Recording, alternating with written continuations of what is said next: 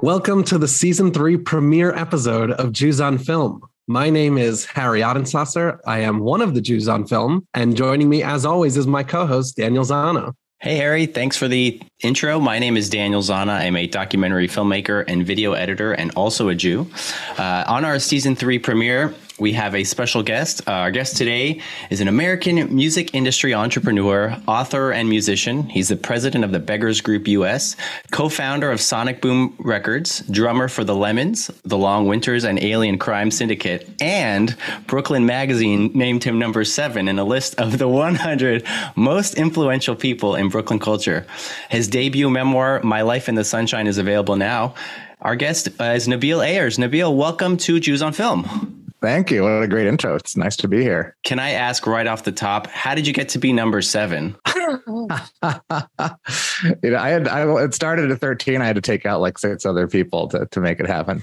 I, I really don't know. They did they did a list of a hundred, and I mean, you know how all lists are. I mean, they, they probably sit around a some kind of conference room or a Zoom screen and, and hash it out. And I really don't know, but I was I was honored yeah, that's a huge honor. Uh, I uh, used to live in Brooklyn, but I would definitely not consider myself at all influential to Brooklyn culture. Um, so it's a it's a real honor to speak with you today, uh, not only to talk about your book and to discuss you know your life in Seattle and everything, but to also discuss a film today that you picked for our podcast, yeah. Jews on Film, After Hours, directed by Martin Scorsese. So before we get into that, I wanted to, you know, take a trip in the Wayback Machine and sort of figure out what was your relationship or awareness of like Jewish film growing up. I mean, my mother is Jewish. My grandmother, her mother is Jewish. So by Jewish law, I'm Jewish. I'm not a practicing Jew and that I don't go to temple, but I, I would consider myself a bit of a cultural Jew. My wife is Jewish. We celebrate holidays, love Jewish food, a cultural Jew. But I grew up um, with my mother and knowing my grandparents really well and also knowing my great grandparents really well who lived in Flatbush and are also Jewish. So that Jewish side of my family, that was my family. I don't know my father's side at all. I still don't. So we would go out to my great grandfather's place in Flatbush and, you know, eat gefilte fish. I mean, all the sort of like, uh, it all sounds like a movie, but like the stereotypical things. I mean, those were my childhood experiences. I was around lots of Jewish food and so much Jewish film. I mean, really, to me, Woody Allen. I mean, hard to talk about these days, but still, as a kid, those movies were pretty incredible. And I remember seeing Sleeper and Bananas and like the really kind of wacky, funny 70s movies and just like rolling on the floor laughing and getting the jo- jokes and getting the cultural cues and, and knowing that, you know, I had some part in this culture and, and really feeling great about it. So that that was Jewish film for me as a kid. That makes sense. Yeah. First of all, you know, love love where you went with that sort of that cultural experience, seeing that reflected on film. You know, Daniel and I have discussed this in a number of episodes, and we we feel certainly the same way. That kind of excitement of seeing, you know, having the gefilte fish and then going to the next movie where someone's eating it, and right. I know what that tastes like. You know, totally. I'm surprised they're enjoying that so much because I've had that before. Which, by the way, I actually do, for the record, love gefilte fish. Okay. So just my, just my wife makes great. She makes great gefilte fish, which I okay. actually I don't think I'd ever had homemade gefilte fish until oh, nice. well into adulthood. Yeah. I don't wow. think I've ever had it. Sounds delicious.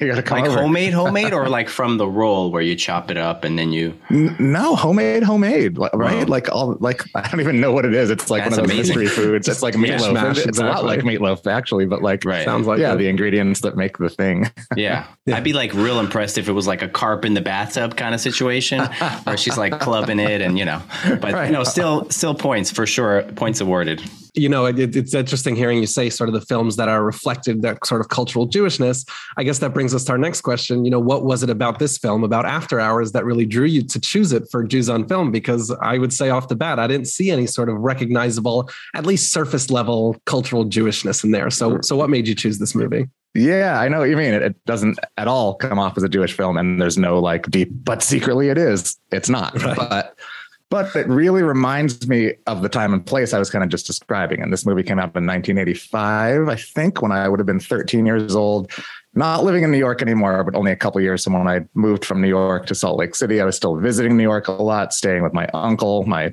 mother's brother still on that Jewish, Jewish side of the family. And there's just something about the specific area where the film takes place, which is a lot of Soho, a little bit of Tribeca, but it's in the mid 80s when it was still a little bit desolate, a little bit not even dangerous, but like weird and quiet and kind of a lot of artists and creatives. And I remember seeing this movie then when it came out, I'm sure mm. with my uncle and kind of the ways that I understood Jewish culture from my family, really getting this neighborhood, really knowing where they were, knowing these specific blocks, knowing these streets. And the even funnier thing is I didn't realize until I just rewatched it that a lot of it takes place one block from my office now. And Whoa. I know the exact corner. And it does not look like That's that cool, anymore. Right? But but so for me, it was the connection to my childhood and that time and place when I was, you know, seeing my Jewish relatives all over New York and seeing movies like this. It all just kind of feels like it, it has the same theme. It all goes together for me.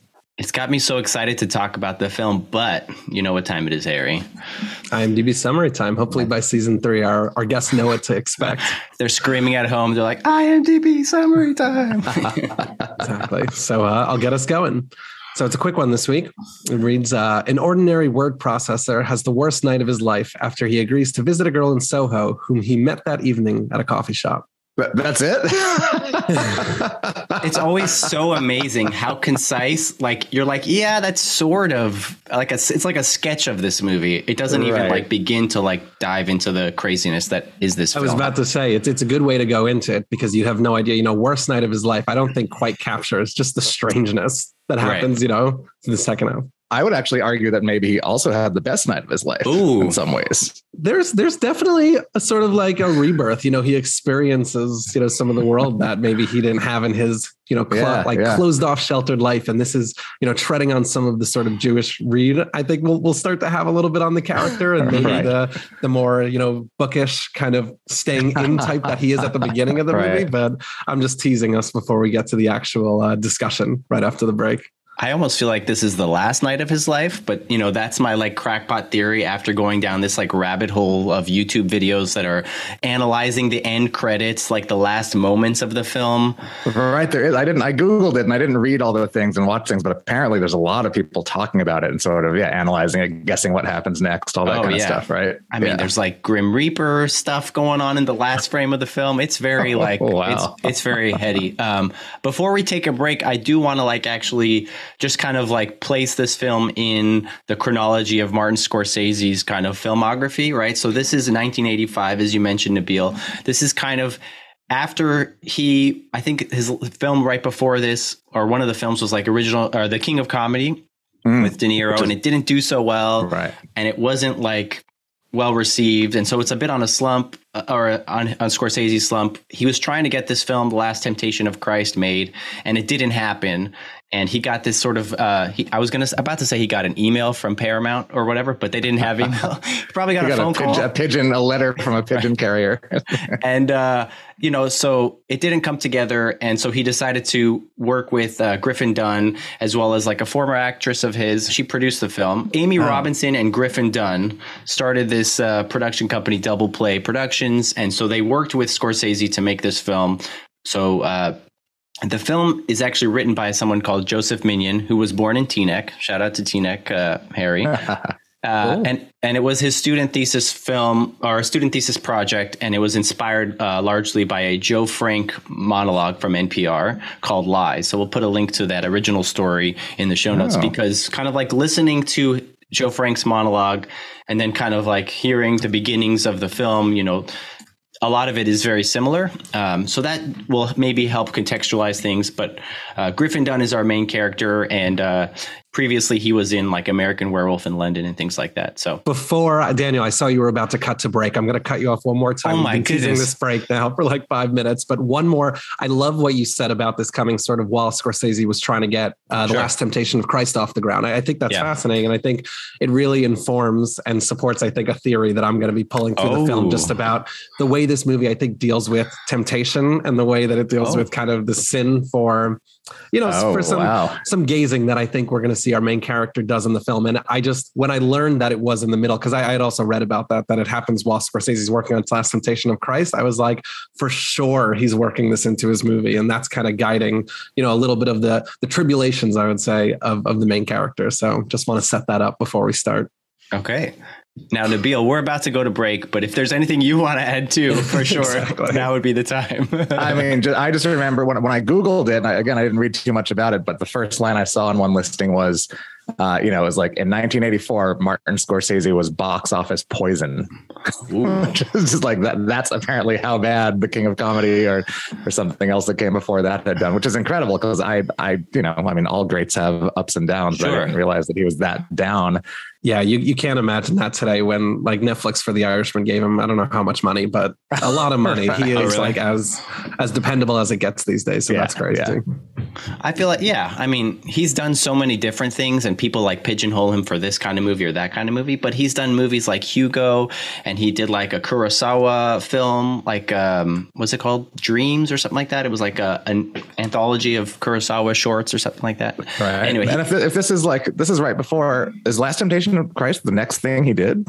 I'm going to look that up. Or was there quick. something else before that? Because now I'm getting, of course, you know, I'm a music nerd, but mm-hmm. Bruce Bruce Springsteen, yeah. when he made Nebraska, was kind of a rock superstar and wanted to make this quiet acoustic album. And right. I think reportedly told the label, like, look, just let me do this and then I'll give you a hit after this. I need to get this out of my system. And then sure. Born in the USA was the record after that. So maybe this is uh this is Scorsese's Nebraska. So it was After Hours, then Color of Money the the following year, and then and then '88 was T- Temptation of Christ. Wow. Okay. But so then after back. that, it was like New York Stories, Goodfellas, Cape Fear, Age of Innocence, boom, boom, boom. Oh boom, my boom. God. So, right. Yeah.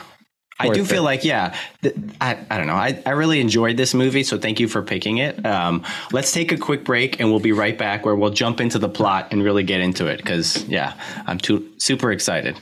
We'll be All right. right back.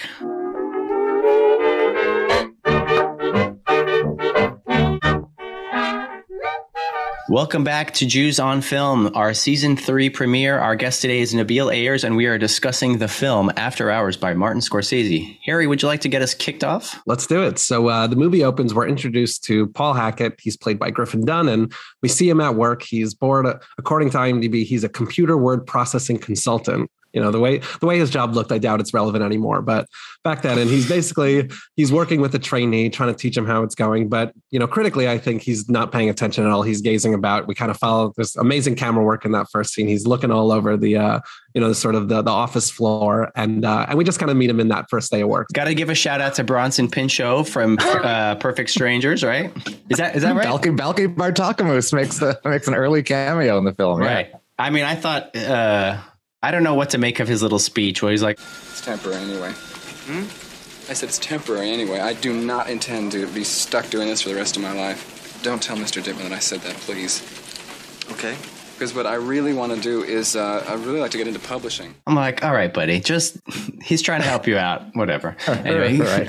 continue, Harry. So, yeah, well, he's not really trying to help him out because he's not listening to it, right? right? That's like true. He, that's true. You kind of hear that monologue as viewers, but right. it doesn't feel like uh, but Paul is listening. So, uh, anyways, just to get past that opening scene, Paul goes home after a long day. We see him, you know, he's reading a book, he's watching TV alone in his apartment, and eventually he kind of gets up and goes to a coffee shop. And when he's there, he meets Marcy, and she's sitting, you know, a table over. She begins flirting with him, and eventually she gives him a she gives him his number and there's this great moment where he's trying to write it down but his pen is dead. So he gets you know he, he, runs around tries to get a pen writes it into his book but eventually he has her number he gets back home and late that night it's i think it's around like 1045 and you know this being a one night movie it's important to kind of situate ourselves as we go through it. But uh he decides to call marcy and eventually she invites him to her soho apartment where her friend kiki lives who and she kind of teases him that kiki creates these paper mache sculptures and if you need a paperweight you can come on over and i'll uh, and we'll get you one.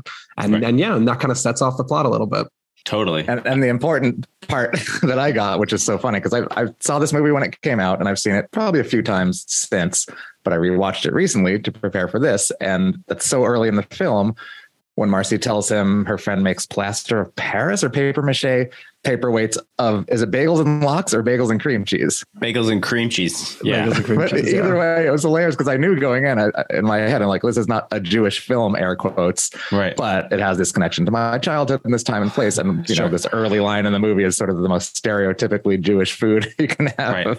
A lot of this is going to be like subtext and be like, okay, I guess I could see this. But like, do we think that Kiki is this sort of like disgruntled Jew artist who's like like channeling her childhood by making paper Bagels. mache bagels and cream cheese? I don't know. I'm just throwing it out there. This is a crackpot theory, but I feel Or like do we uh, think that Marcy was trying to reel Griffin in? Oh. Not Griffin, the uh, Paul. Griffin's the character, the actor, Paul, right? Or was she Right. trying to reel him in by making up this story? And who knows? Right. Maybe that was just something that would get him interested and get him to come downtown. Do we think Paul's a Jewish character? I mean, we could get into it, you know. You know, Uh, I it's a it's a great question. I mean, I love this read. This is exactly the kind of thing that when we watch these movies for Jews on film, we we jump to. You know, bagel and cream cheese, like that was that was Boom. the perfect thing to kind of latch onto. You know, I mean, the way I understand it, bagels and cream cheese are inextricably linked to you know New York City, especially, but sure. in a way because of the Right, right. Jewishness of you know parts of New, New York City, and that's obviously right. intermingled. So, intention or not, I mean, that is if we're counting this as a sort of Jewish reference, I think it's fair to say that you know we spotted it. I kind of read a I kind of read Paul as looking like Martin Scorsese at the time, you know, kind of the Hmm. dark hair with like Okay. the you know, sort of big hair features. Right. And, you know, that's a classic kind of trope of a, of a director, especially, you know, in a movie following just sort of one person on a journey, you know, Right. casting themselves in it. I know Christopher Nolan is someone who's famously accused of doing that, you know, Oh, for all his movies. There's, if you see like Inception, you know, there's sort of a lead character with blonde, you know, pulled back hair that looks kind Ah. of exactly like Christopher Okay. Nolan Oh, so so that's kind of where Didn't I'm going with that read and and through that lens and through you know the rest of the sort of temptation and the struggling with his faith kind of things. Like we, we should mention this. Martin Scorsese is a filmmaker who famously not in all of his movies but often incorporates themes of Catholic guilt and you know I mean last temptation of Christ right? Temptation and sin and and so just seeing that character experience that I just kind of read it a little bit as not quite autobiographical, but just inserting himself into it. So I didn't get quite the Jewish read on Paul, but Okay. I don't I don't think it's a stretch to say that the bagel and cream cheese, you know, there is some Jewishness Sure. inherent in yeah, that. and, and scene. there was a, there's a, there's a level of neuroses that I think some people would certainly attribute to that that stereotype of the Jewish guy in New York. I, as I mentioned, I was as I was going down my like uh, YouTube rabbit hole and watching these like amazing video essays on this film. Like they compare Paul, this man, compared to like other Scorsese men like De Niro and things like that, who are clearly like these alpha guys who go around drive taxis and like kill people. And then you have Paul, who's kind of you know use the word like nebbishy and like a little say bit it a nebbish, right? yeah. I mean, he's like ma- like masculinity in whatever form in this film is a big thing that I want to explore. Like masculinity, um, and like the way that other men treat him and the way that other women treat him. I think is like a. But it's also interesting to compare Paul, uh, you know, to like characters like Travis Bickle and things like that. not only am I convinced by the arguments you guys are making towards his Jewishness, I'll even add fuel to the fire. I mean, we we spoke about this before, but sort of the bookishness of his character. I mean, Mhm. we, we've literally at this point seen him in three scenes, and he was holding a book in his apartment. He brought a book to the diner. Like we spoke about this at the end of our season in our season two finale. We were talking about the movie Booksmart and spoke about how you know if you were kind of classifying a sort of more traditionally Jewish you know story Mhm. narrative it would most likely involve someone staying inside not necessarily going on the wild journey Right. and and that's certainly a place that you could say you know this is where our character start where paul starts like even when he does make the call to marcy and says and she says can you come over tonight he said tonight like it's 1045 you know i was done for that i was just calling which, to say which hi to me was like a classic, you know, day job New York, Right. whatever corporate stooge working his job. Mhm. Super cool downtown hipster artist. Like 1045, the night downtown had yet to even begin, Right. and the night uptown was totally over. And he's on the Right. Upper East Side too. And it's like Seinfeld land, right? Or they Right, Upper exactly. West? You and, know? and it's funny like- and it's funny you say that because i remember there's a scene later in the movie and you know we'll get to this but when he's talking to marcy and she says do you have to be up early tomorrow or do you have to be anywhere and he says no and now i'm realizing you know and again we'll get to this at the end of the movie but he goes straight back to work so clearly you know he did have to go back to work and he Right. probably just wanted to and should Be have wanted to maybe be turned cool. Yeah, Right, no, right, right, right. Exactly. He wanted to impress her and maybe himself a little bit. I, I said this that that first shot. I think where the, the camera's kind of waving around. I, I think first of all, I think it's it's great filmmaking. Of course, you know, not a not a big take to say Martin Scorsese has a great tracking shot in his film, but I do think that we get a lot about his character when I, like we mentioned, he was, you know, when uh, Paul is, is explaining to his coworker, you know, the stuff and the coworker is going on about this random monologue. And you just kind of see Paul, we, the camera takes on this sort of POV and, and we watch as he's just wavering around and taking in everything. And he's very unfocused. And, you know, I said I was going to kind of trail this through the film, but I think that the film, and we'll see it in some later scenes, kind of criticizes and punishes him for this sort of wavering gaze that he he looks where he's not supposed to. He's supposed to be this this sort of bookish indoor person, and all of a sudden he's he has this sort of morbid curiosity. And I wouldn't call it morbid in that first scene, but as the movie goes on, I'll make sure to keep pointing out that I think he looks where he's not supposed to. And part of what happens to him later might be some punishment for that. I think there's an interesting thing when you mentioned that when Bronson Pinchot, the actor, is kind of saying, Well, I'm not planning on being here for a while. I'm just, you know, trying to get to the next thing or whatever he says. I think that that's part of that whole thing that that our main character maybe has been in that job for a while mm. and is sick of doing this thing where he has to keep yeah. training the new person who probably moves up. And I don't right. think it's that he's not, maybe I'm really making this up now, but he's just in that he's just stuck in this job. It's fine. He's getting paid. He's not trying to move up, but it's annoying to keep training these people and he just doesn't care and he's not paying right. attention. He's looking for something else, literally in that scene, looking for anything else. Oh, nice. Right. Very cool. I, like I love that. it. You're getting the hang of the podcast, pulling stuff out of thin air. I love it. yeah, no, I think, you know, uh, one of the things, Harry, you mentioned was like the, the camera work. I, I read somewhere that, you know, Scorsese's use of the, of the wandering camera and the sort of kinetic movements is sort of like an homage to like Hitchcock and some of his kind of kind of camera flying all over the place. I think, you know, certainly we see it in the next scene uh, where he's taking a taxi and the taxi kind of like zooms all over the place. Uh, and it's, it's just, it's craziness. So he basically hails a cab back in the day where cabs used to take cash uh, that was a thing uh, kids uh, you know he would he, he got into the cab he goes downtown um, and he puts the $20 bill that he has his only $20 bill he puts it in this little tray and i feel like he could have just like closed it to kind of end this sort of issue but it flew out the window and there's this sort of like comic you know the, the, the money just like flies away. Uh, so he the you know he gets dropped off downtown and he tells the cab driver that he doesn't have the money and the driver uh, you know remember that face it might show up later but uh, the cab driver drives off really pissed off and he gets to uh, you know kiki's apartment. She throws the keys down at him he lets himself up and i believe you know he's trying to look for the buzzer he eventually finds it and he comes in to find kiki who's played by linda fiorentino.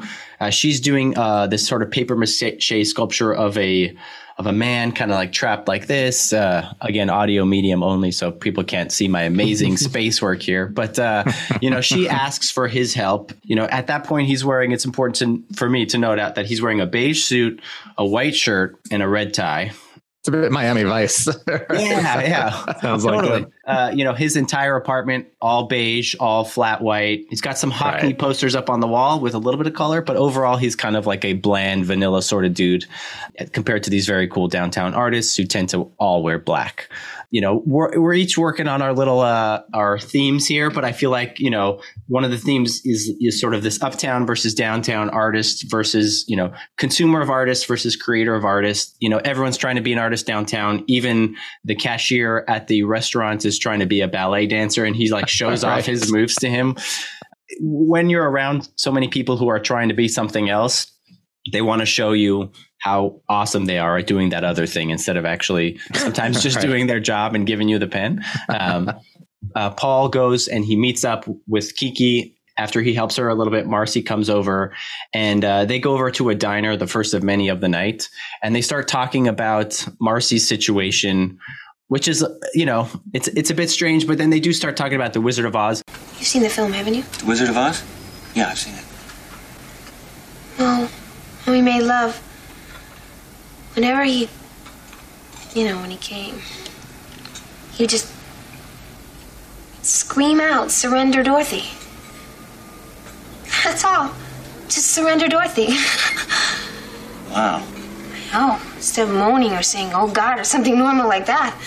I mean, it was pretty creepy. and I, I told him I thought so, but he just, he just couldn't stop. He just, he just couldn't stop. He just couldn't stop very strange discussion, but like sort of par for the course at this point.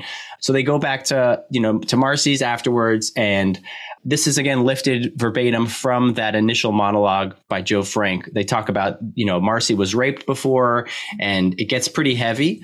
uh, she talks about the circumstances surrounding it, and uh, he gets Paul gets a, a joint from Marcy, and they smoke it, and he says it's not even Colombian weed, which is what she claimed it was. So, um, you know, I wonder. There's all these theories online, but like maybe that's it. At this point, this is sort of the string theory where like his reality has changed, and a lot of this is maybe his perception because he's had this non-Colombian joint. Uh, yeah, interesting. Oh, wow, interesting. I don't know. I mean, there's already there's already been so many great New York moments at this point in the film, Right. and we're not that far in. But like even the cab ride, as you mentioned, is like this. It's like a parody. Like it's in fast Right. motion. It's a cab Yeah, flying yeah. down these streets and Right. he's getting thrown around. Like it's truly. It's almost like a cartoon of what you you know what the audience should think a cab ride is like in New York City in the 80s. Right. Yeah. And then, and that's like obviously like a very relatable New York moment for anybody. But then to me, the thing where she throws the keys down for Uh-huh, him, which, which was such a common thing then. And I think still is even now in some places. Right. That was a very common New York thing in a lot of places where the buzzer doesn't work. Come Yeah. to the window. I'll toss the keys down. You let yourself in and come up. That Mm-hmm. I love that moment even as a kid because I remember doing that. That whole sequence is like it's the beginning of I think the first and Daniel you mentioned some of his you know Paul's relationship with some of the women he meets because there's a couple of them throughout the night and oh, this is yeah. the first one where a sort of strange dynamic unfolds. I mean you Yeah. get this sense that you know Paul also you know it's late at night he kind of probably wants to go there for some quick sex you know hang out with her and then kind of move on with his night and and things just become and, and maybe that's not the read that everyone else had but I think that things just become progressively a little bit more complicated you know with the Kiki thing and then they kind of leave and he sort of gets this read of Marcy that you know she's just I think she has she's she becomes a little bit emotional, a little bit unexpected. She talks in different ways, and I think when things really start to turn, as things get a little bit heavier, because then she talks about you know her relationship with I think it was either her husband or maybe a past boyfriend who you know had one time came into her uh, like came into her sort of window, climbed up her fire escape, and according to her, she says that he he raped her for six hours, and that she says that she was asleep for most of it, but Right. she kind of says it both nonchalantly, but then also very emotionally, and you kind of see it on Paul's face that he's becoming overwhelmed with this information, Sure. and that, and I think that starts to spark, you know, what I was sort of throwing up before, a little bit of that, you know, morbid curiosity he has, Mhm. and that's when we kind of start to see, you know, he see she goes to the bathroom, and then she kind of he he- goes through her stuff, right, and he sees that she has this sort of burn cream in there, and Oh, he yeah. becomes a little bit,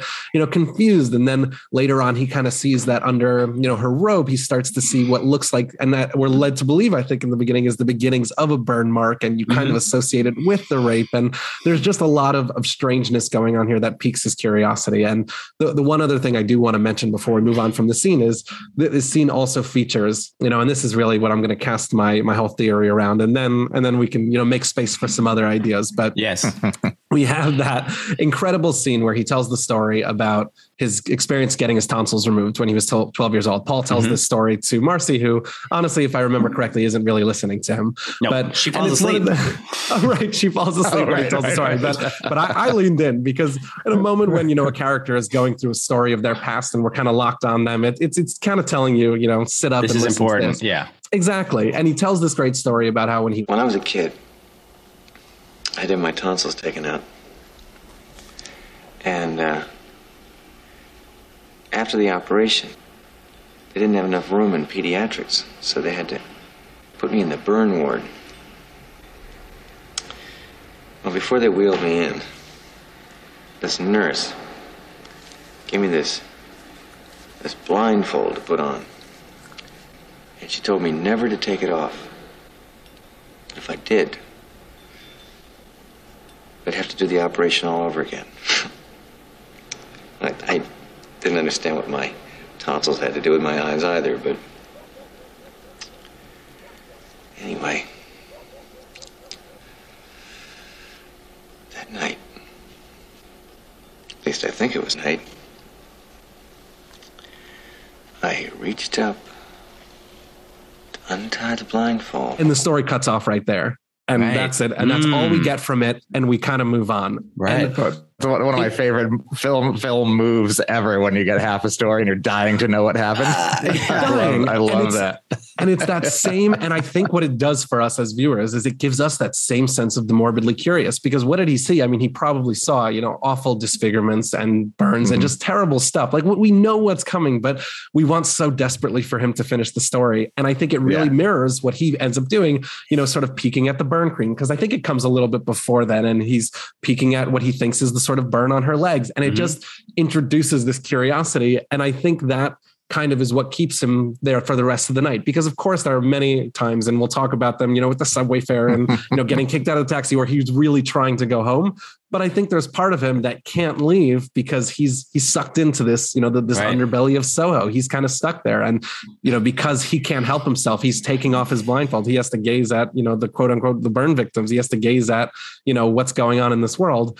I think in a very, and I'm, I'm going into already the religiousness now, but I think in a very religious sense, he's he's he commits that sort of sin of looking at too much, and and he's kind of punished for that later on. And I, I think visually, there's just a lot going on there. At this point in the movie, there's already a bit of like careful what you wish for. It's you know Right. he he thinks he's going down there for like a quick hookup or a fun night, and it's already so Right. complicated and Oh, yeah. dark and weird. And he's dealing with people that he obviously doesn't really trust, but he's in their apartment, and it's yeah, it's it's a lot more than he asked for. And it's already like 1.30 a.m. Like at some Right. point, like she says, like let's go to a diner, and he's like, "There's a, like, would there be a diner open?" And she says, "It's not even two yet."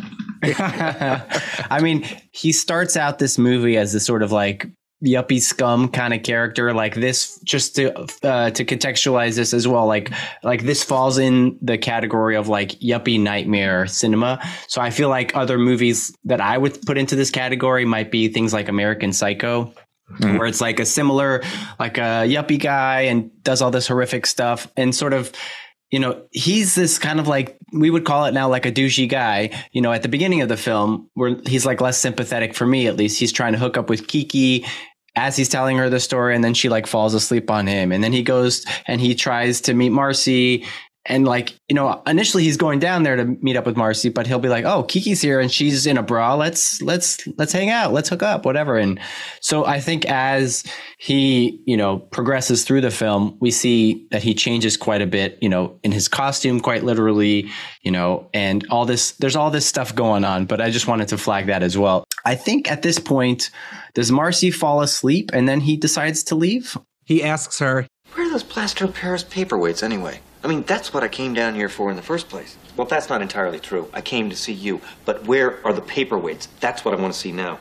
He gets pretty pissed off right and I think it's it's both like a culmination of just the strangeness of the night Right. and what he's been encountering, Yeah, but yeah. also maybe partially because, like you said, he's you know smoked a little bit. He's probably in a different headspace, but he has a very aggressive and shocking sort of outburst and just says, "I Right. came here like he, he's fed up. It's it's two in the morning. He's ready to go home, and he says, "I'm fed up. You you promised me a paperweight. Where is the paperweight?" i mean And that's it's- code for like something else i think you know Yeah, but as soon, well, as soon as she goes up to get it, he he runs he out. disappeared he right escapes.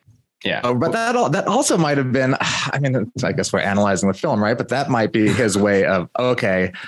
I didn't get to hook up with anyone, but I don't want to make it clear that that's why I came down here. So Ah, I'm going to really lean into this thing that I Totally. ostensibly came down here to do. I came here because your friend's an artist, and I came to buy art, right as which is as obviously not true, and why Right. he's pissed off about it. Yeah, And, and Right. exactly. And before she can even bring it back, you know, he uses He that as, as an opportunity to, you know, slip out. It, it's kind of like the pre, you know, iPhone version of ghosting someone. He kind right, of just right. And, slips that- out. and that's when the movie really begins. Yes. Kind of when he he becomes instead of a backseat driver, he's taking the the front seat and becoming like an active uh, participant in this night. Uh, you know, so he leaves. He's getting soaked up in the rain. I believe at this point he has changed because he did paper mache. Kiki has given him a black shirt now, so he's got his white, you know, his beige jacket on, his uh, black shirt on, and a red tie. Uh, you know, so something has changed at this point. Quite, you know, figurative, uh, literally Right. with his clothing, but also just I think that, like you said, Nabil, the movie takes a turn here. You know, he goes out, he gets to the subway and has, I believe he's just, he has 97 cents. And because it's past midnight, it's now up to a dollar fifty. Oh man, what I wouldn't do for like a dollar fifty subway fare. Uh, and, that- and And- that's to buy a token. Don't Right. forget. Ah, yeah, right? yeah, You yeah. Go to, right. You used to go to the booth, you give the person money, and you buy a subway token. Then you put the token in the machine, and you could buy, you know, whatever groups of tokens or numbers of tokens or Right. a token, and he was trying to buy a token. I mean, exactly. And that, that scene was just like so rough that, you know, he's got 97 cents. The guy's not willing to lend him or give him 50 cents. He's like, I'm sorry, I can't do that. I could lose my job. Well, who would who would know exactly? I could go to a party, get drunk, talk to someone. Who knows? Would you just give me a goddamn token? No, goddammit, I cannot give you a token. I'm like, that's classic New York bullshit where no one's going to help you out because it means that they could get, you know, and, And then seeing the train leave. That's sorry, one second. I got to vent my frustration here. I have, I've been holding this in for so long. Clearly. I mean, I left New York and I'm like happy with the light rail in Seattle. It's great, you know, but like, I, I feel like there's nothing worse on like a, on a night, on a late night when you just see the train that you're wanting to go, you know, very far distance and you just see it leave and you're just like, Ugh. Yeah, it's going to be another 40 minutes or whatever. Yeah, yeah. Especially late at night when it's not running every five minutes anymore. Well, It's doesn't he also? every- But he also he, the train comes and he hops the turnstile, and there Right. happen to be some cops right to. there. Like the Right. whole, it's just you know the comedy of errors. Like Right. Everything's like- going wrong for this guy. was He just- can't get a break. yeah. Oh, it's beautiful. I wanna, and I want to, you know, you called it a comedy of errors, like underrated, you know, with Scorsese in this film. It's very funny. And I was going to mm. say, one of the best lines, you know, when he's talking to the, when he's trying to get, he's like, just give me the extra 50s or give me the token, you know, no one's going to know. And the guy says, well, he goes, I might go to a party. I might get drunk. It might slip out. You know, you never know. Someone might find out about this. And it's so ridiculous and so funny. And like you're saying, Daniel, it's just, you know, I'm not going to help you. And it's just, it's classic New York. It's a very fun, So you know, good. like Yeah. the night would have been over. He could have just gone on the subway, gone home, and none of the rest of the film would have happened. But then we wouldn't have a good movie, obviously. Yeah, it's rough. So he ends up he goes to a diner, but then he goes to or he goes to a bar, and this is sort of the rock bar across the street, and we Oh, have the, the punk play. Yeah, yeah. right. yeah, and we have um, John Heard and Teri Garr as uh, it's a very like sort of minimal bar. There's the bartender kind of cleaning up a little bit. We have our waitress in this sort of like go go '60s outfit, and then we have this sort of lone couple dancing. Sort of just doing their thing. I feel like that's like setting up, you know, visual symmetry for the end, where he is sort of dancing with uh, with Juliet or with um, what's who's the person at, there's someone at the end as well that he dances with before he gets you know Right. spoiler alert you know encased in plaster but uh you know i think at this point he's still June. was that june thank you uh, June. he's just kind of like reeling from his loss here and kind of just wanting to sit i think he said i just want to sit down i just want to relax I, I think he's just trying to get get you know. Sorry, I'm still coming down off of my subway frustration rant. So apologies. apologies. And isn't there the weird line where Teri Garr is sitting there and the bartender, like he Right. notices Teri Garr and the bartender says, you know, if you're interested, you better act fast because we're closing or something like that, Ah, which is yeah, yeah. which is sort of pretty creepy and weird bit. thing Yeah, a little to say, bit. but Yeah. Yeah. It, I mean, she's also over her job, right? She comes over to his like later on. She's like, "Oh yeah, I'm I'm done with this job." Oh, She- right. She leaves him the uh, the the bill, and she writes on the back, you know, I, I hate it here. I want to leave. You know, I want Right. to quit. I think he just had like a glass of water or something like that. Nothing, you know, nothing. Well, he has too no money, exciting. right? He lost his twenty dollars. He's got ninety seven cents in his pocket. Not Yeah. much left for him to do. So, uh, so he goes to the diner, and then the big thing that kind of happens there is he's talking to the bartender, right? And he says to him, like, you know, I can't even get back. I don't have a dollar fifty. Like, did you know that like they changed the subway? And he's like, yeah, I knew that happened tonight.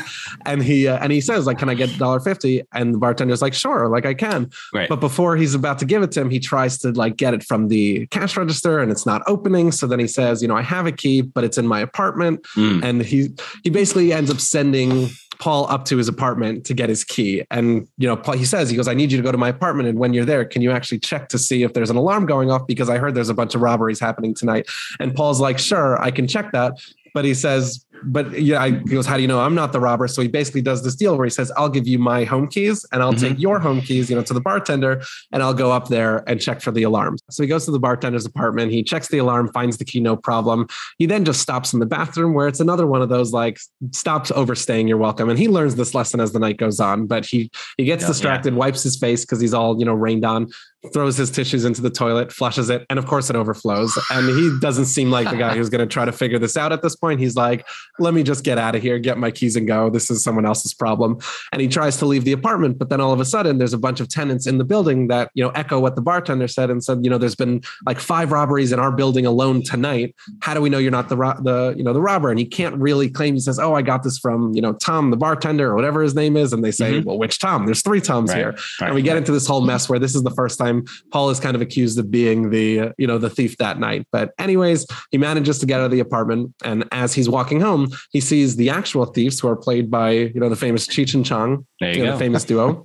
and, uh, you know, that, that was a spot that I did recognize, you know, unlike the guy you guys were talking about at the beginning. Uh-huh. And, uh, and he sees that they're actually they're like loading a TV into the back of their van, and then also the sculpture that Paul recognizes he had seen that Kiki was working on earlier when he was there. So this kind of you know he re- first of all he recognized that these are the actual thieves, but then also says they stole from this apartment. You know I need to go back and check. And all of a sudden he feels very protective over you know Kiki and Marcy. So that sends him back to Kiki and Marcy's apartment. And when he gets there, he sees Kiki come kind of out the window, all tied up, and he gets very nervous. He says, "Throw down the keys." runs up and it turns out she wasn't actually robbed by them she's like oh and i, I forget their names but she's like oh yeah they i just sold them my tv for $300 and i gave them Right. a sculpture and and the reason she was tied up was because she was just doing some you know bdsm she was just you know in the middle of a night with her boyfriend and that was it so he kind of goes there and he that's where he starts to talk about how he feels bad for you know what we called sort of ghosting Marcy. He's like, I kind of ran out, wasn't so nice. She was all emotional.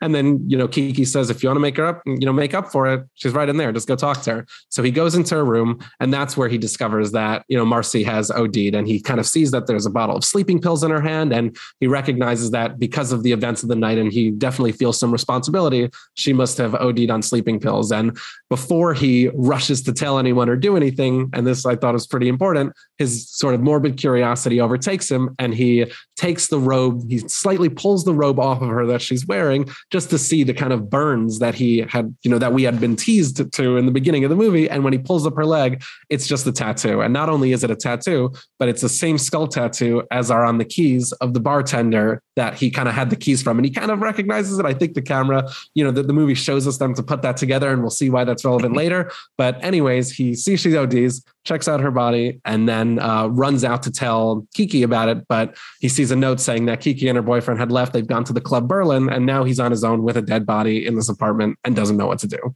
Right. It's a lot that you covered. A few things I wanted to call out. Wanted to shout out Cheech Marin as a Cal State Northridge alum. Want to do that where I can, you know.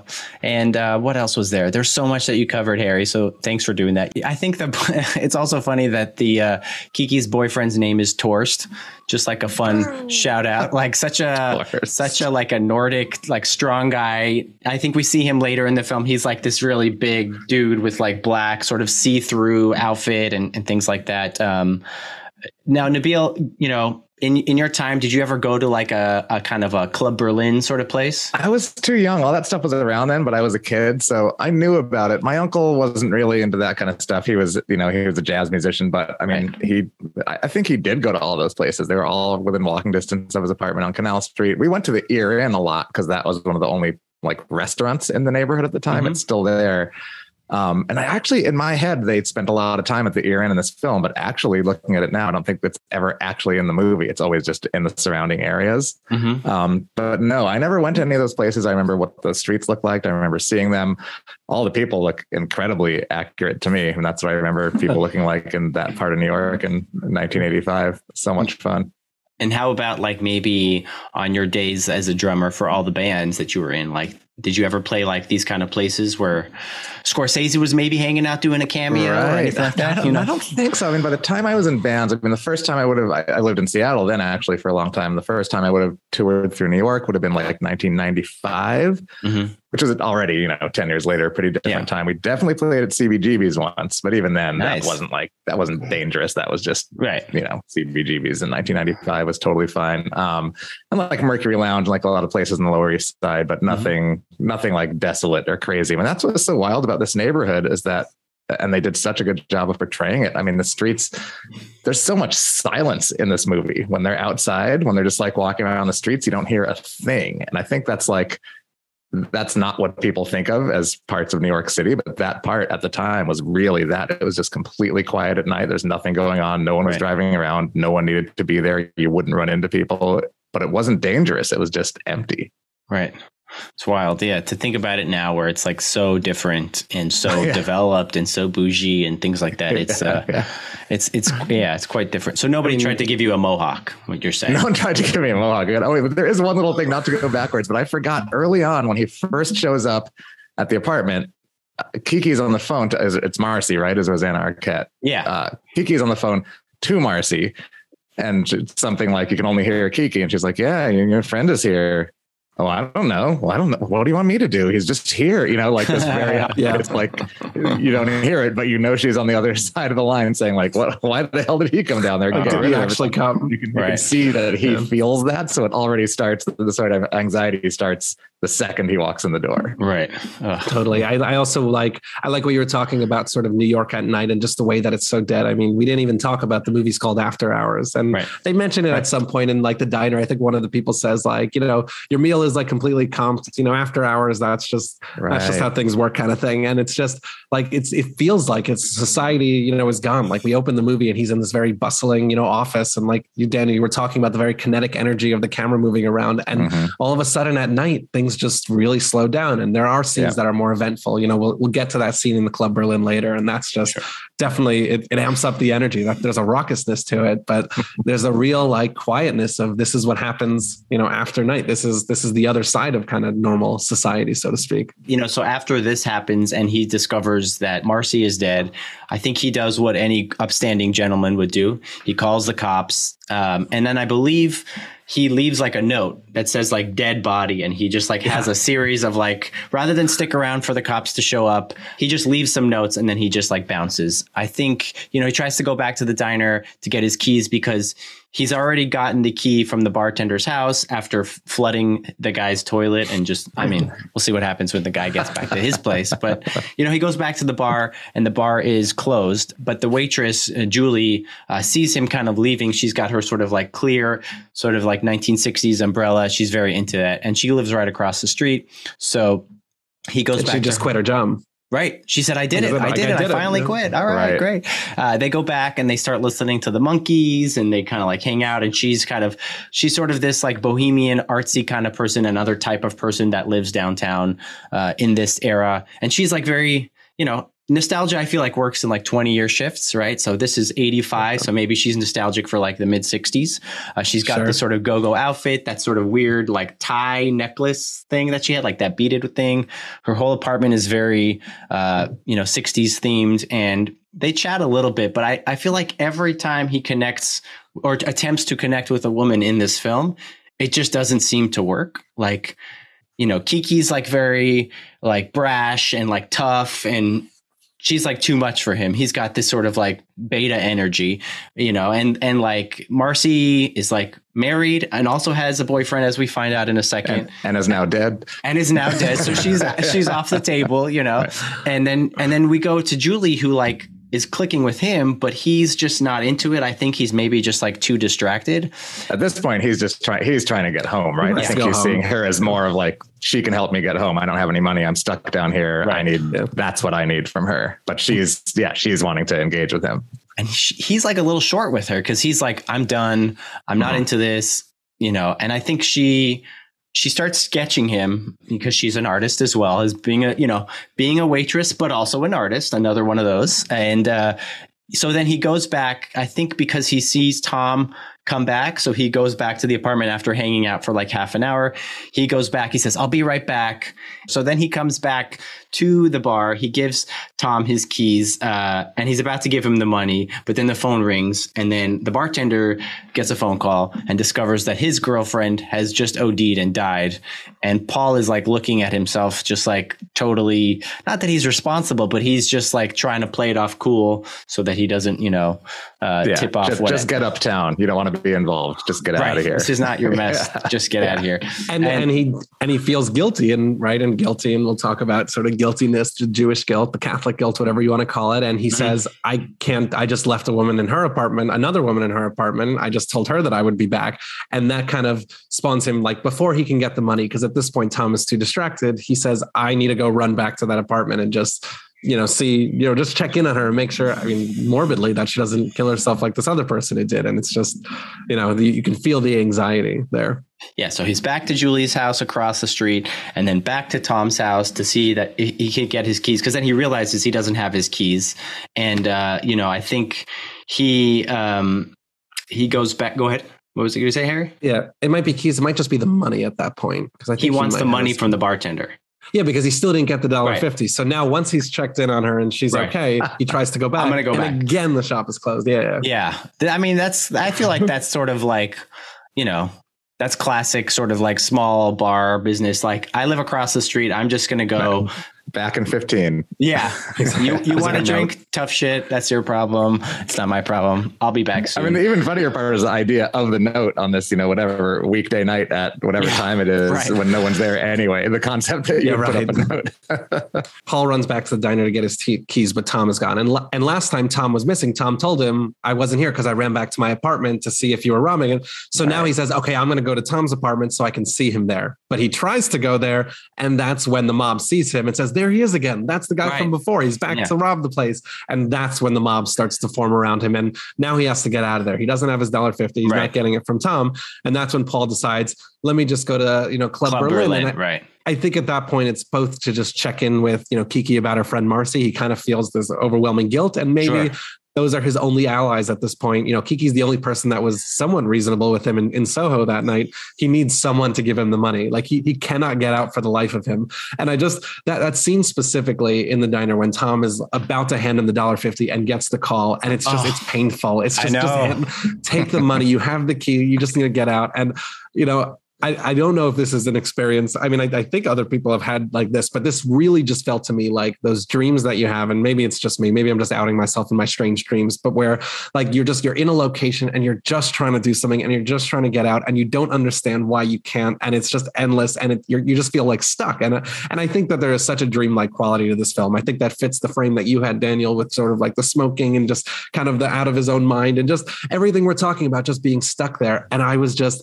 like, at this point, I was like, like it feels like you're just trapped in that dream where you just don't know what's going on and you cannot leave. And I mean, the movie itself at this point becomes a real off the rails fever dream. You know, sure. once he's getting chased around the mob, going to Club Berlin, you know, we're going to cover all the, la- the the minutia, but it just gets completely surreal from this point forward. I'm going to posit a theory here, and we can touch on it later in the theme section. But I feel like there's a strong case to be made that he's dying, or and like he's going to hell or heaven, and this is his sort of limbo, his journey on the river Styx, as it were. You know, mm-hmm. so he's like meeting all these like demons and characters and like otherworldly people and then he finally ascends to these pearly gates at the end all covered in white um, that's my you know there's definitely a, a, read you know obviously subtextual this is you know plot based he goes back to work whatever but if you wanted to you could make that case i think um, i sure. want to get to the you know the next scene where he goes to the club berlin club berlin yeah. and he shows up in his sort of wet suit black shirt kind of looking like a yuppie who's out of his element, trying to go to this very cool place. And like the way that the bouncer talks to him is not sort of typical bouncer banter. I can't let you in at the moment. Will it be possible to be uh, admitted uh, at a more convenient time for the club? It is possible, but not at the moment.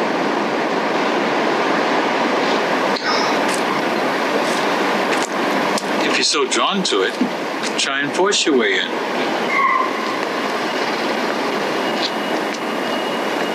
Got any money? Yes, I have money. Is that what you want? Money? Why didn't you just ask for that in the first place, man? Here, it's not much, but it's all I've got. I'll take your money because I don't want you to feel you left anything untried. You keep the quarter.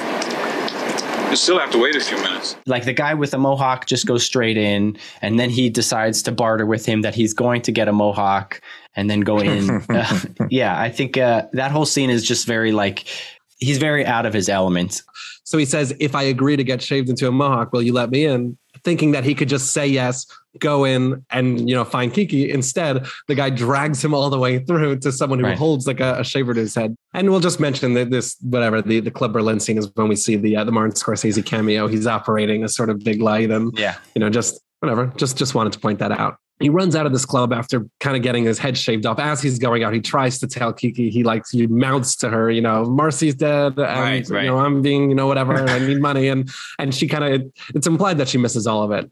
So uh, so he runs out and he ends up seeing the, uh, or I think it was either then or maybe earlier he had seen the sculpture that Kiki had made on the side of the road, and we learned that she made it by you know paper macheing twenty dollar bills onto it. So at some point he grabs the twenty dollar bill and puts it into his pocket. So he's you know going down and he sees the cab driver, and it's actually the cab driver that we saw earlier, and he waves him down and he says, "Look, look, I have money now. Like, can you take me uptown?" And the cab driver, and it was he made a mistake by Paul made a mistake by hold waving the Yeah. money in the cab driver's face because the cab driver rips it out of his hands and says, "See how that feels?" and just drives away with it, Right. which is uh, you know just another gut punch after the end of a Very long New night. York too. Another New York moment. Yeah. Yeah. Exactly. A Classic New York cab driver. This guy never disappoints. If that was today and it was Uber, he would get a very low star rating. But such a you know accountability did not exist in in those days. So he's just No like f you. I think Gail is getting out of the cab.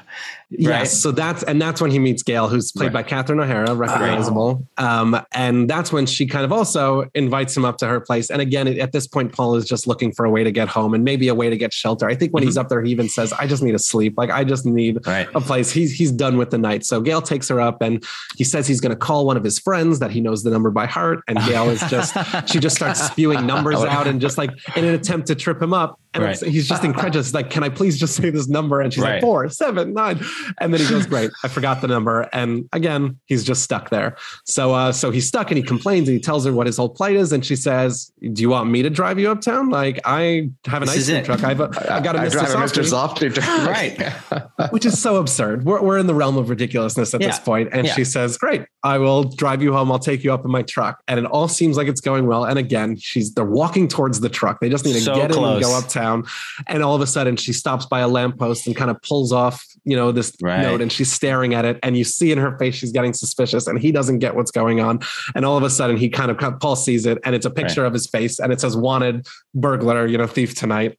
It's it's Julie's portrait. His earlier waitress, Teri Garr's character, had sketched this poster and had somehow like made Xerox copies of, of this portrait. Well, you know, suspension And- of disbelief at this of point. course, of course, yeah. and just sends him on the run again. So now there's a mob chasing him. I mean, it's gotten so ridiculous. Yes. And he's running, and there's this great moment where he kind of like stops on like these sort of stairs, and like he's got these like uh, fire escape stairs, and he looks in and sees through the window of another apartment. Oh, you know, this woman shoots her husband in the chest five times, and it's just so ridiculous. And I think it's part of the illicit gay stuff. You know, he's just taking in all Right. of this insane underbelly stuff, but he just he makes a great joke. He says, "I'll probably get blamed for this too." And it's Doesn't he? just- Doesn't he look to camera? Doesn't he like look? Doesn't Oh, he? it kind does he? felt Wow. like it. I don't know Yeah. if it's direct, but yes, like he Oh, basically good. Right. does. And he just sort It's of great. runs out and and then he ends up in and then he ends up finding another man. And this man he ends up taking, he goes up to this guy's room. So this is now the the fourth person, the fifth person that he's he's gone up to their room. And we have this interesting moment, I thought, and I actually want to hear your thoughts on this, where he Sure. kind of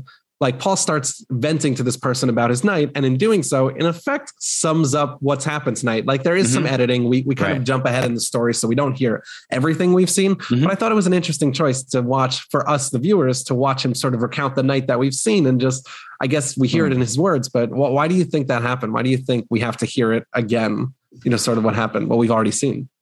I'm not sure what I mean. I took that as just kind of he's he's obviously just try, he has someone to talk to. He's in a safe place, and the fact that that guy is not really interested in that. That guy thinks they're going to sleep together, and I think that was that was our character venting and thinking. So I finally got someone who, who will listen to me and who will believe me or whatever. But that guy's just not really interested in what he's saying. He's got he's almost the roles are reversed in a way from from why Paul came downtown in the first place. Yeah, I mean, it's interesting because like this is like our fourth quote unquote like romantic interest, right? It's it's our our first man, but like it's at this point that he feels comfortable confiding in him and telling him how he feels. Whereas with most of the other people, he's mostly been on the receiving end, like listening and and sort of just kind of taking in what other people have to say. And he's finally like, I want to like tell you my story, tell you how I feel, and maybe he only feels comfortable doing that in the presence of like another guy.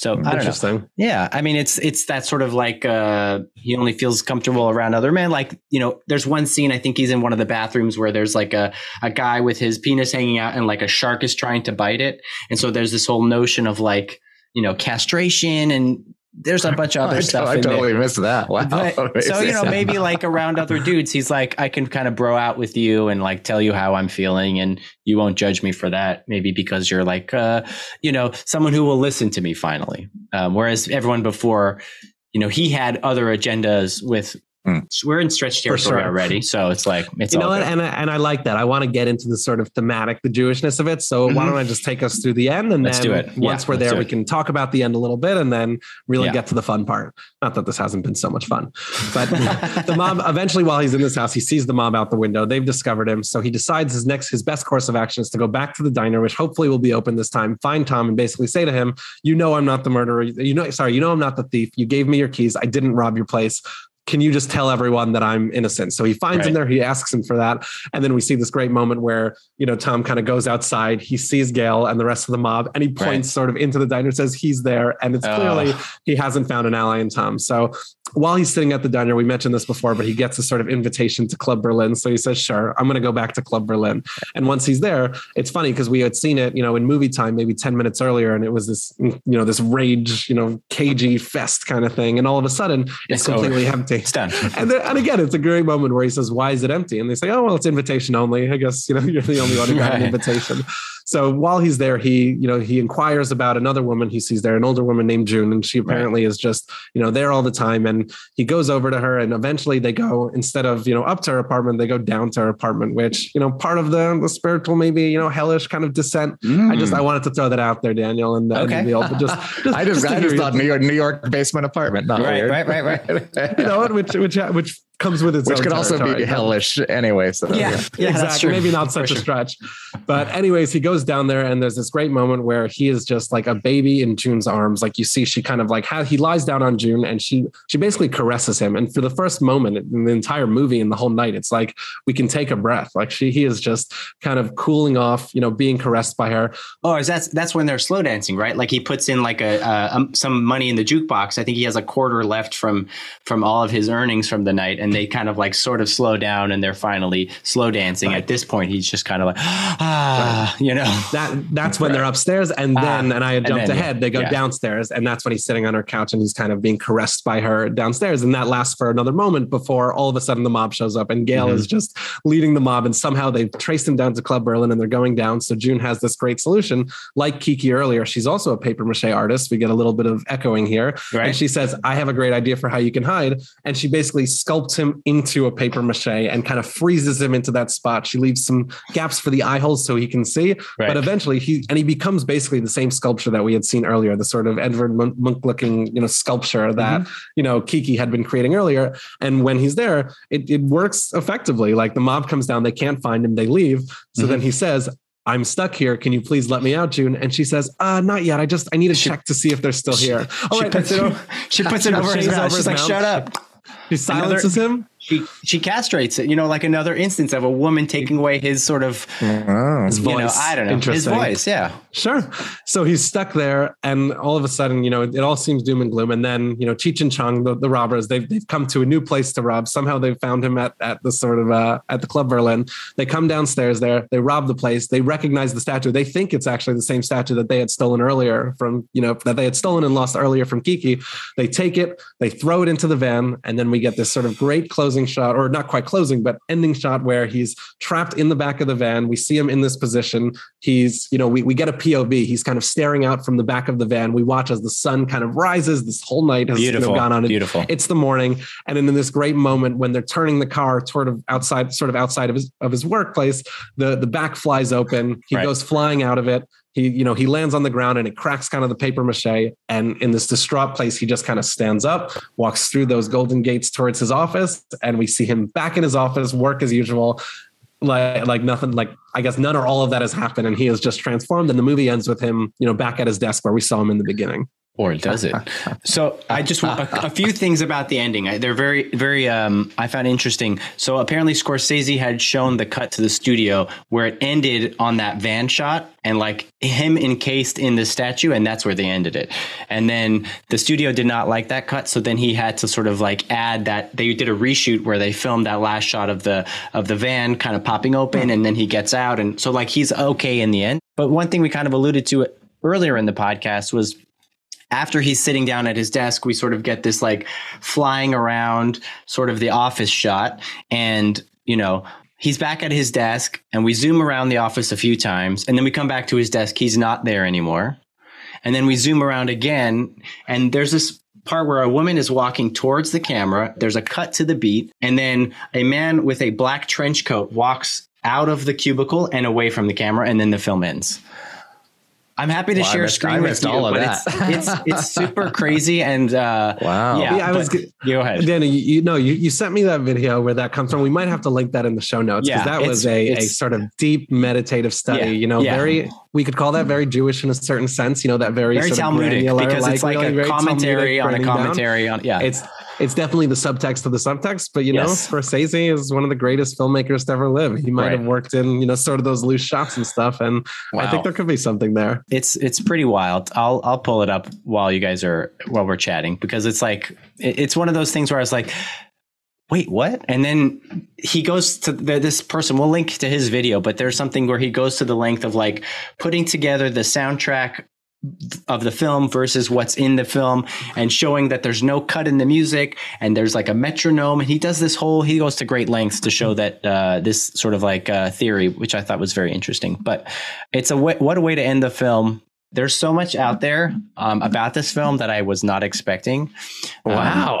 yeah. And so like Wild. that's why um i'm down to explore all angles of this film because it's such a wacky film and it's like so unlike anything i would have expected from scorsese because you know going to film school you think okay scorsese is like mean streets casino raging bull but like he also Yeah, has yeah. this side of him which is kind of wild Yeah, this is funny for me because I mean, I first saw this when I, I would have been whatever, 13 years old and it came out. To me, this is just like a great, cool New York movie that I felt special to get among my 13 year old friends because Right. I understood it because I'd been in this neighborhood and I could relate and I knew these spots and everything. So I felt really cool because of that. And I'm sure I know I've seen it since then and obviously thought about it more, but now watching clips and talking about it with you guys and notice i mean i'm sure in the i've probably never even seen the end credits i probably just left the theater or pressed stop or whatever but, you know i've never analyzed it like this but there's a lot going on Yeah, I mean, unfortunately, like I watched it on Amazon Prime Video, and I think they most much like most streaming services, as soon as it goes to credits, it Oh, almost yeah. like kicks you out of the film unless you like deliberately click on. So I like started watching the credits, and then it just like minimized and went to the next thing. And then only towards the end, when I was like Googling the film, they're like, Oh, did you see in the end credits? And I was like, Oh, I thought that was like only a Marvel movie thing where you have to kind of stay mm-hmm. through the end Right. credits. But like here, it's like not only the end credits where we don't see Paul anymore, but then really it's the last shot of the film where you see this man in a black trench coat walk away from screen. Maybe that's the Grim Reaper. Maybe that's death taking him on his final voyage. maybe that's just somebody delivering a bagel and cream cheese to someone at their desk Maybe. I think the bagel and cream cheese statue does show up at the end, right? Like someone, yeah we see it we see it somewhere in the movie it, right in one of the scenes it, it shows someone, up oh, it's it's Teri Garr. She has it. right right She gives it to yeah. him. And Yeah. then I think at some point he's just like so fed up with it that he throws it somewhere. And so like this whole, you know, narrative device or this MacGuffin of like having this uh he's like, fuck it, I'm done. It's we're over with. Yeah. right He's done with it. So that was our discussion of the plot of After Hours. We'll be right back with our discussion and rating of the film After Hours.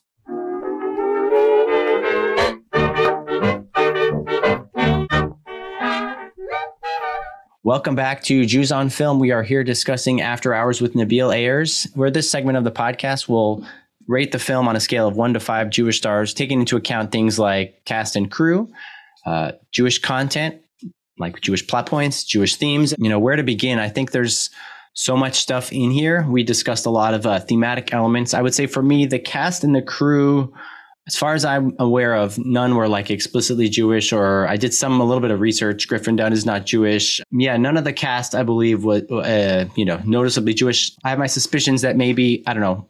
Harry, what can you tell me about Teaneck? Is it was it a largely Jewish uh, town? You know, not necessarily large enough that there was people from all sorts. So, you know, we we could probably do some research and figure that out, but Right. I don't think we have enough to say offhand that there was a Jewish creative team behind this movie. Yeah. So not a lot on the cast and crew aspect. I think content wise, aside from the bagel, I don't know.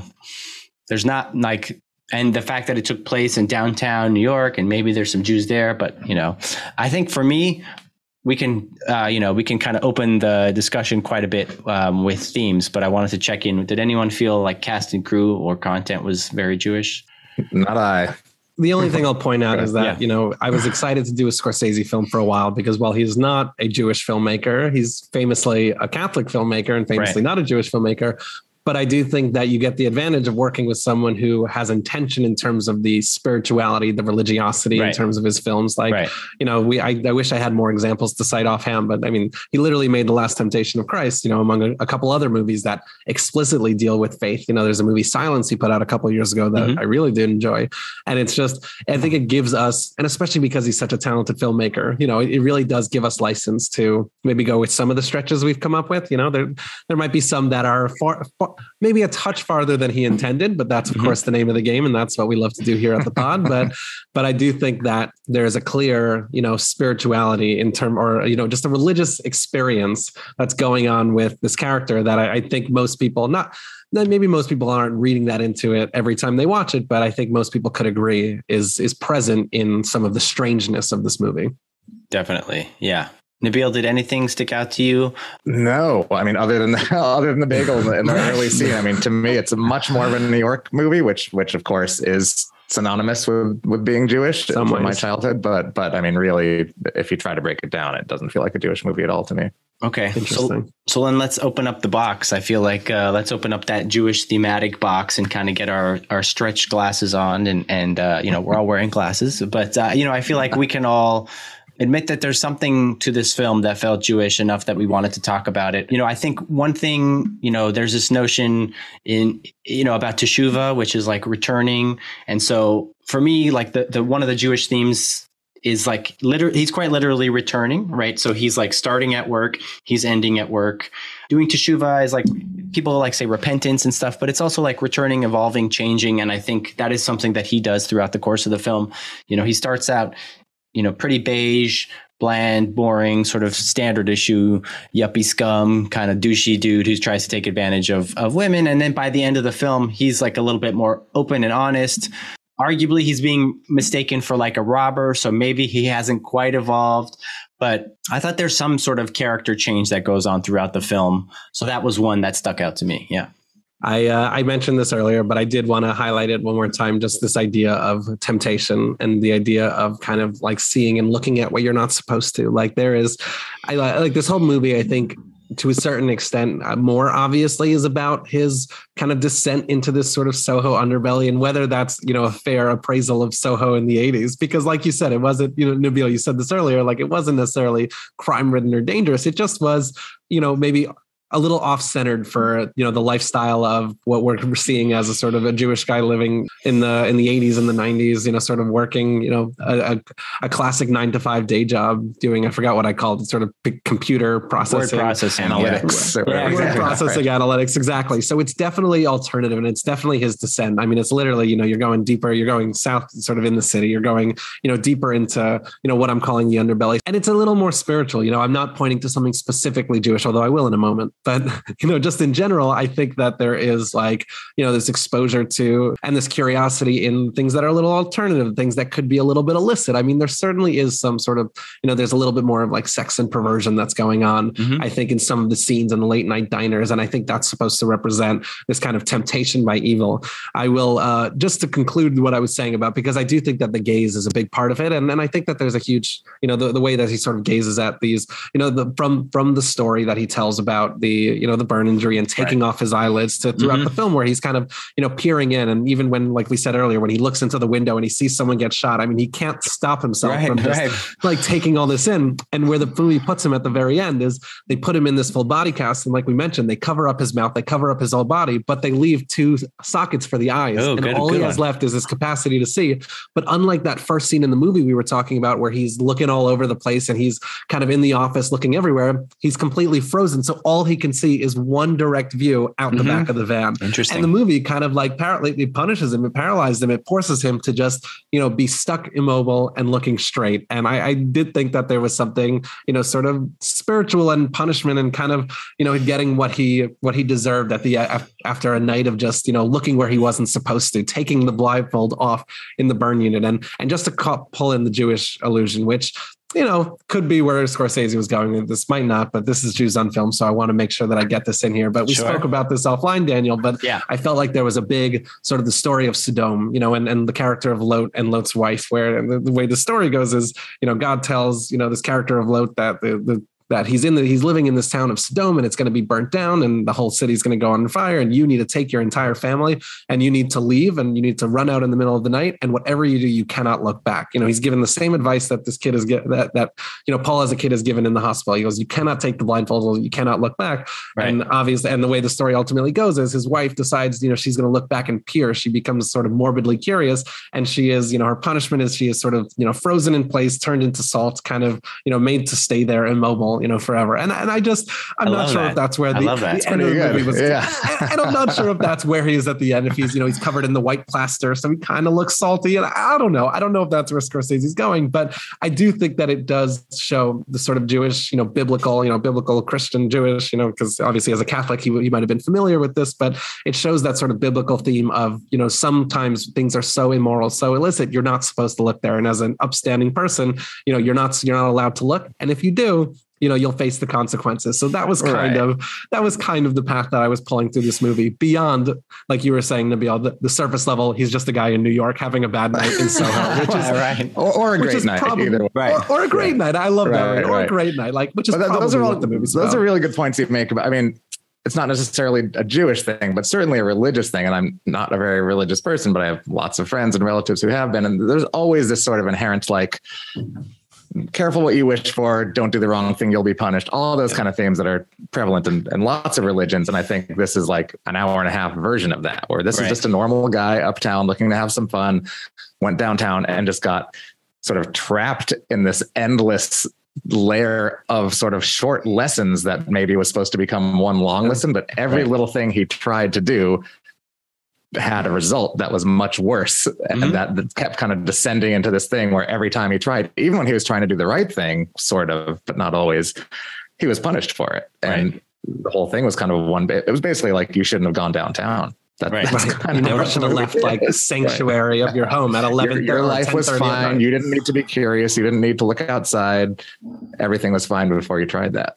Right. I think he went a step too far with a lot of the stuff. Like he was just supposed to get the keys, but he got the keys and then went to the bathroom and flushed the toilet. And then, you know, he went back in and he like stole the $20 bill, which was not his. So by stealing it, he went to the cab and then he was punished for that. There's a lot of other stuff. Right, I think one thing, Harry, that you were talking about with, with Lot's wife, another sort of, you know, um, thing with, with, um, Judaism is like the priestly blessing sometimes in synagogue where you're supposed to like look away from it.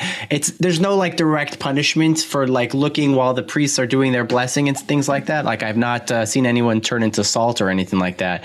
But you know, there's just another example of kind of like looking away and you know you're quite literally covering yourself in the prayer shawl, the talit, uh, while that happens. So that maybe you know it's just another example of something like that. Um, I did think the the sort of the depiction of like.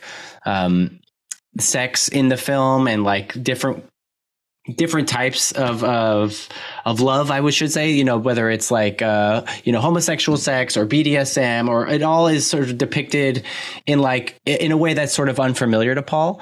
Paul is like very used to like sort of the what you know meat and potatoes sort of standard for him version. And when he sees it all he's like a bit uh you know he has maybe this sort of like catholic view or whatever i don't know what He's way term out of his comfort zone. yeah, totally. on. Yeah. he's like total fish out of water, and so the maybe that there's well, not necessarily like a Jewish theme, but sort of the I don't know attitude towards uh, sex and and and uh, non-conventional ways for him of love are are you know maybe something we can glean from there. Yeah, go ahead. There, there's an interesting thing that I noticed on this watch that I didn't pick up on before with kind of the male characters versus the female characters, where other than Linda Fiorentino, who is very hard edged, very kind of stereotypically New York, all the men, the bar owner, the cab driver, the subway operator guy, the guy at the booth in the subway, uh, the bouncer are so sort of almost like stereotypical New York characters in the movie. Mm-hmm. A lot of this, yeah. like, hey, yeah. what do you, you know, like right. really like New York, Love New York. It. Yeah. But the women, I'm going to name the actresses, but Rosanna Arquette, Teri Garr, Catherine O'Hara, these women are all these sort of very almost like Midwestern, pure blonde. Like they're not at oh, all stereotypical New York people. Right. They're all yeah. these much to me, I took it as kind of safer, more trustworthy characters. Mm-hmm. And what's interesting is that that is a lot about the, New York that I remember of that time. Is I think pe- people tend to think like, oh, everyone in New York is crazy and has that accent and is, and is mean and short and everything. But so many people moved to New York, mm-hmm. and so I thought that was actually it's interesting the balance of men and the women because that felt felt off to me, and maybe that was deliberate, but. Mm-hmm. But all those Teri Garr, all those characters actually felt incredibly authentic to me because those are the types of people that move to New York, which are just everyone from everywhere who's looking to that's make cool. paper mache or do whatever they're doing. So, you know, that was sort of our discussion of the themes of the film and its Jewishness or religiousness and things like that. But I want to talk, you know, numbers. Let's uh let's go around. Um, Nabil, you're our guest. If you'd like, you could start. So ranked on Jewishness, I'm I'm gonna go. I'm stretching it to give it a two, and I okay. absolutely love this movie and loved it even more after watching it again. And two feels high to me because it's really not very Jewish, but I was so pleasantly surprised by the bagel thing in the beginning being kind of a, a weird, important aside that struck sure. me. And then again, just back to kind of me associating that time and place where the movie was shot, what the neighborhood looked like with my Jewish relatives and Jewish family. So I, I gave it a little bit extra because of that. So two uh, stars. Okay. Harry, what about yourself? Yeah, I, I kind of think I feel similarly. I mean, I, I can't claim to have grown up in New York in the in the eighties. I uh, I was you know at that point negative whatever the number is. So uh, so it wasn't necessarily recognizable to me, but I loved getting your perspective on that, Nabil, and a little bit of your rants, Daniel. And and I've dealt with subways. I mean, the subways are you know whatever they're not a dollar fifty anymore, and thankfully I I can also pay for them on my phone, which I usually have on me. So that's not you know I haven't run into those same issues, but there's definitely a New Yorkiness to this movie that probably comes first and foremost. And, you know, if we want to tie sort of you know, New York in the 80s to a certain Jewishness, like sure, but that's not really enough for me to give it an extra point. I do think that this was a very spiritual movie. Like I've been saying the Scorsese thing a lot, that he's a very spiritual filmmaker. And you can watch some of his movies and say, you know, not quite sure I saw that there, but I think more so than some of his others, I really did feel like we weren't meant to only take things as their surface level like it just got so weird and so you know the, the, sort of the cause and effect of everything that happened just felt so deliberate to me in a way and random but deliberately random to me in a way that i felt like there was some intention there so i think that mm. will also get me to to my two stars because other than that, you know, he's not a Jewish filmmaker. There's no explicit Jewish content. You know, I'm almost one and a half, but I'll give I'll give it the two stars because uh because I think you made some good points there. So yeah, two two out of five stars Jewish film. How about you, Daniel? What do you think? Well, here I go, Harry, on one of my subway rants. Come on, rants. That's no fair. Um, That's what it was. yeah, yeah, it's fair. It's fair. Um, I'm gonna go. I'll give it. I'll give it one star for the bagel. Right. So right off the bat, we're already at one. I think you know. Let's go like a quarter star for like the, you know the Lot story. I think I think all that stuff's great. Again, this is all subtextual. Um, like you said, Harry and Nabil, like the film was great.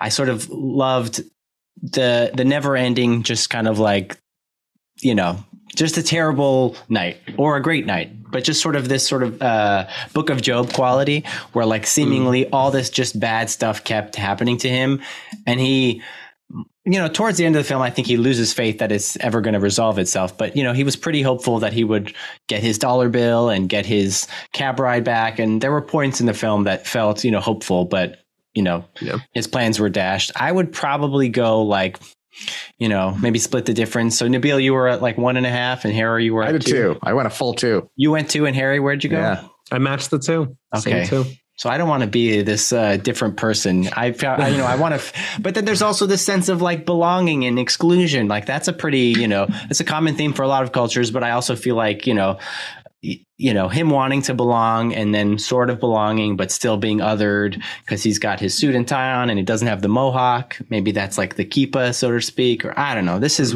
way too stretched territory so i'm going to probably go um, you know, I'll meet you both where you're at and fit in. So I'll go two stars as well. Um, so that was our review of the film After Hours.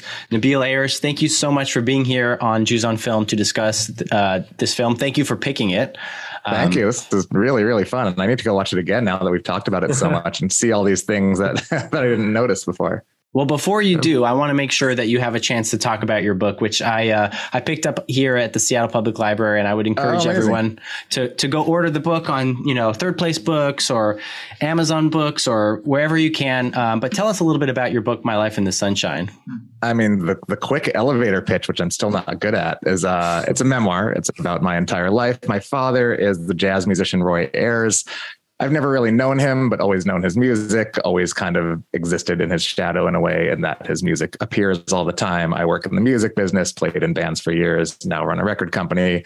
Um, and it's really just about about my kind of quest to as an adult when I was in my 30s to try to finally connect with him and kind of had this great meeting once, but then it sort of went away and I wasn't able to get in touch with him and really wanted to learn more about my family and about family history and all these kinds of things. And so I was able to kind of go around him and through 23andMe met so many other people. And now I'm just connected with all these people, some of whom I'm related to, some of whom I'm not, but they're all family.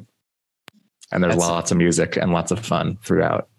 Yeah. I mean, I loved, uh, you know, living in Seattle like I do now. I loved like you know, hearing about all the Seattle parts from before I lived here, and then also just hearing about. I mean, it was all great. So I recommend everyone go check out that book. Um, Harry, you. I know it's a new season, so I wanted to check with you. Is there anything you want to plug? No, just keep listening to the podcast. Season three is going to be a really good one. Got some great guests, including Nabil. Well, he's no longer lined up. We we've had a great guest already in Nabil. We have some more great ones lined up. So please, if you're listening to this one, keep tuning in. Listen to the last two seasons; they were also pretty great, and I'm just happy to keep doing this. Love it. Love it. Yeah. Um, let's see. I think, you know, for everyone who is not uh, a follower online, you know, we're on all the platforms now. We're on TikTok, on Instagram, on YouTube, on Twitter. Uh, you know, maybe there'll be a new social platform, you know, by the time this is released. But uh, make sure to follow us, comment, let us know if there's a film you'd like us to to to check out. And uh, Nabil, thanks for being here. Harry, thanks as always for being here. Thank you. A great time. Yeah. All right. Well, have a good one. Bye bye. Jews on Film is hosted and produced by Harry Ottensasser and Daniel Zana. Daniel and Harry edited this episode. Make sure to follow us on Instagram at Jews on Film and subscribe to our podcast to get new episodes. Thanks for listening.